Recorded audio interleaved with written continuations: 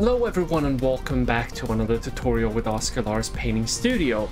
Today we're doing a quick tip video where we're showing you how to make your skin tone come alive.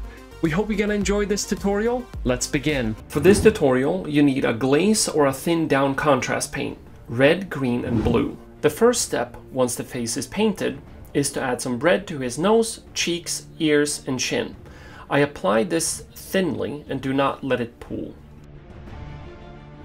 The next step is to apply some blue underneath the cheekbones, lower lip, under the nose and around the eye sockets.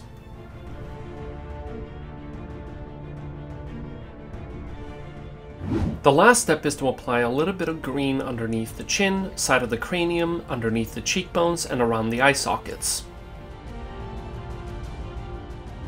And that's it. As you can see, it adds a little bit more interest and life to the skin tone. We want to thank all of our patrons for supporting this project. We hope you enjoy this tutorial and happy painting!